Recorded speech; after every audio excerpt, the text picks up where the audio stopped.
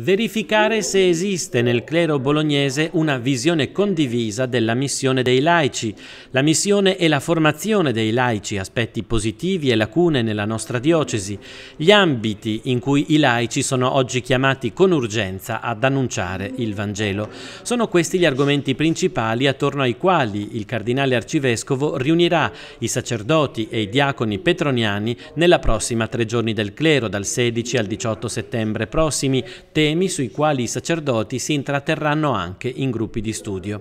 I lavori si apriranno con una meditazione dell'arcivescovo che introdurrà ad una mattinata di ritiro spirituale, mattinata che si concluderà con l'adorazione eucaristica e la Santa Messa. Il primo intervento avrà carattere storico, sarà quello di Giorgio Campanini, già docente di storia delle dottrine politiche nell'Ateneo di Parma, il movimento cattolico in Italia da Leone XIII a De Gasperi.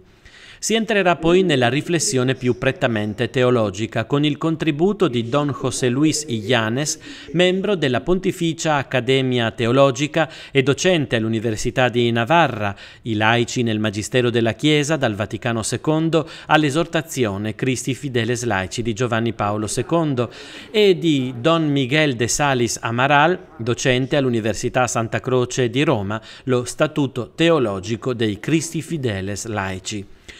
Una sessione sarà dedicata ad un tema di scottante attualità, la teoria del gender e le sue conseguenze sulla istituzione matrimoniale, con una presentazione di Don José Noriega Bastos, docente al Pontificio Istituto Giovanni Paolo II per studi su matrimonio e famiglia e membro della consulta nazionale dell'Ufficio Famiglia della CEI. Le giornate saranno aperte e concluse dalla celebrazione della liturgia delle ore e prevedono anche il pranzo insieme.